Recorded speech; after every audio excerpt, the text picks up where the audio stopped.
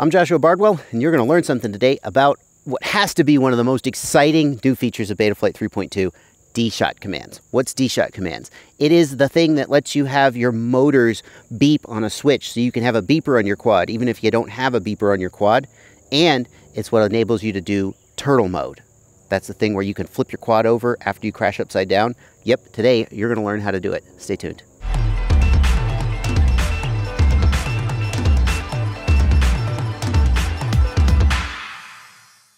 In this video, I'm going to show you all the steps to get D-Shot commands working on your quad so you can take advantage of these super cool features. But before we do that, let me just show you the super cool features so you know what the payoff is at the end.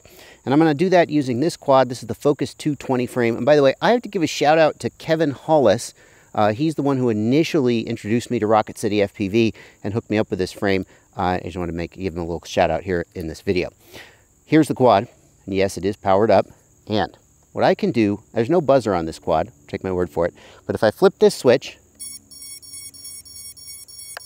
the motors start beeping. So I can have a beeper on my quad to help me find when it gets lost in the tall grass. Now that's pretty cool, but it's not the absolute most coolest thing that D-Shot commands can do. The most coolest thing they do is turtle mode. Let me show you what that is.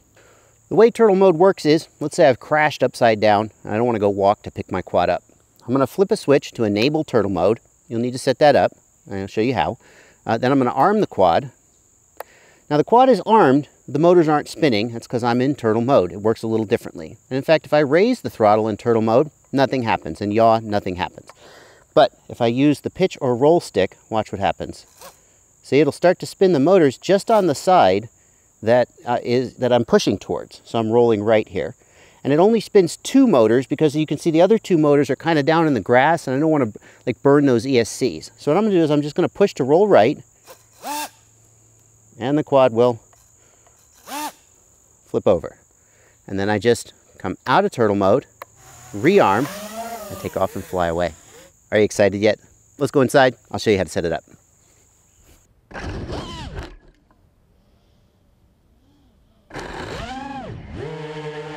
So here's how you can get D-Shot commands working on your copter. The first thing is that you have to be running D-Shot. Obviously, if you're running multi-shot or one-shot, then D-Shot commands aren't going to work for you.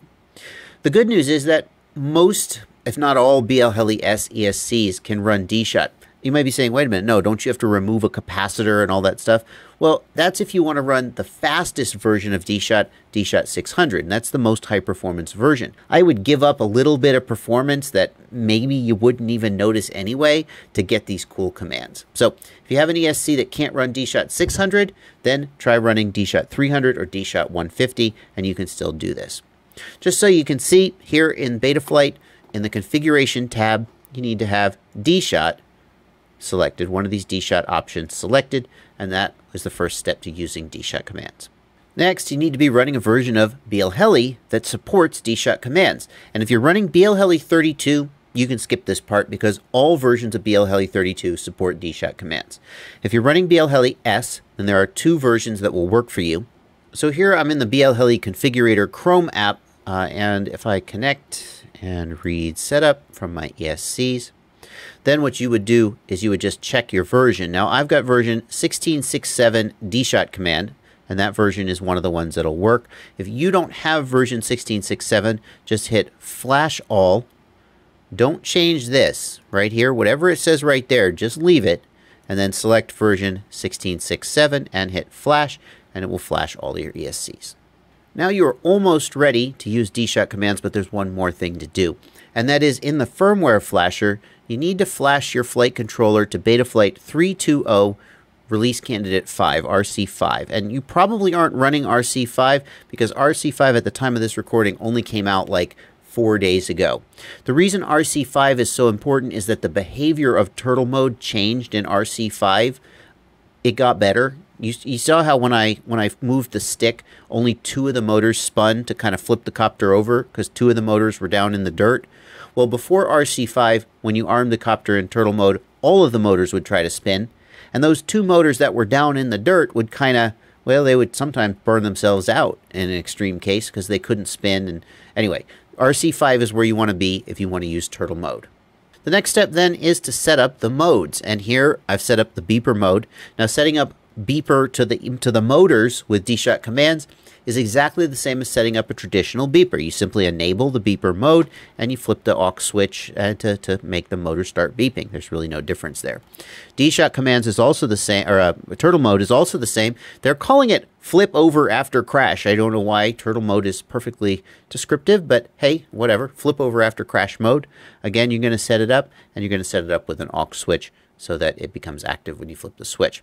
Now, if you don't know how to set up flight modes and how to cause your your aux switches on your transmitter to be output to the to the Betaflight, I have a separate video on how to do that, and I'll link to it in the upper right. The short version, though, is if you have a Spektrum radio or if you have a FlySky radio, there's a very good chance that your aux switches are already set up.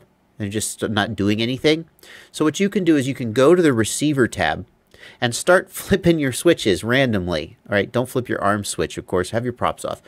And just look for one of these aux channels to move. And you may find that one of your switches moves aux 1 and another switch moves aux 2. And once you've discovered that one of those switches just happens to move aux 2, then you can go back to the modes tab and assign that and then just figure out, you know, this, this little indicator here shows you where the channel is. Just put the switch into the position you'd like it to be in when turtle mode is active, and then move this slider so it covers that position, and then you've, you've set up the mode. I hope that made sense. If not, go watch the video on how to set up flight modes. And that's it. Now you are ready to begin D-Shot commanding, uh, turtle moding, and, and beeping, and you're you're in the wonderful world of D-Shot commands, and isn't it great? I was flying, uh, I was racing last weekend, and I crashed a lot, and it was really exciting to be able to flip over without uh, without having to walk to get my quad. Um, I will say this: be careful with this. If your motors are jammed and you go bonkers with the sticks, you will burn a motor or an ESC. I'm not kidding. You can find pictures on the internet of people who've done it. So when you when you're upside down, kind of think about which props are probably not obstructed and try and flip yourself that direction. And if you try to flip over and it doesn't immediately work, don't just keep trying because you will burn motors. I actually found it was much easier to flip myself over when I had a GoPro uh, mount on top of the quad because the quad would kind of balance on the GoPro and then two of the motors would be more likely to be clear. And especially for a freestyle pilot, it might be worthwhile to like run a GoPro mount on top of your quad, even if you're not actually running your GoPro, just to give you a little bit more something to flip over. Uh, the other thing you, you should do, uh, this is going to work much better if you have really durable props. Like I run Cyclone props on most of my quads, and Cyclones I just find that they hardly ever get bent down. I don't know why that is. And so it's hardly ever the case that if I crash and I spin the motors, I'm going to be whacking my own ESC with a prop a thousand times a second. Well, if you have lighter props that are more likely to bend downwards, you may want to think twice before using turtle mode. If a prop is bent or something, then you try to flip over, you damage stuff. Also, you know, if you're not confident about flying on bent props in general, like you're not sure that your filters or your D gains are right, your motor's are a little bit on the edge of too hot, just don't go there. You're going to smoke something. So, you know, there, there you go. All the precautions have been given.